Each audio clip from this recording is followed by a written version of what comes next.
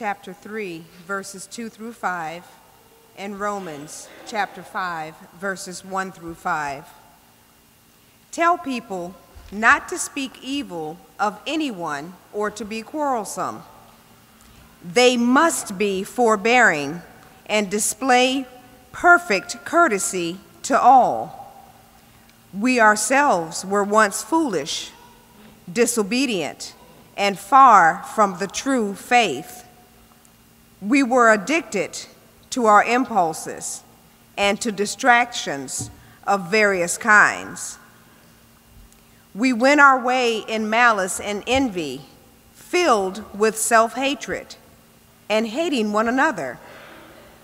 Then, when the kindness and love of God, our Savior, appeared, we were saved, not because of any righteous deeds we had done, but because of God's own mercy.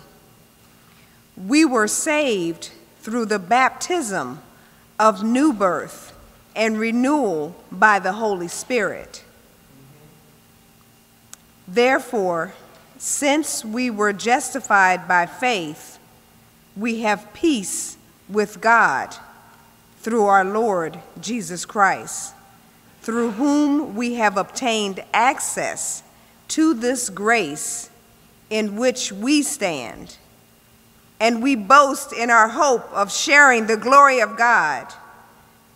And not only that we, and not only that, but we also boast in our sufferings, knowing that suffering produces endurance, and endurance produces character, and character produces hope.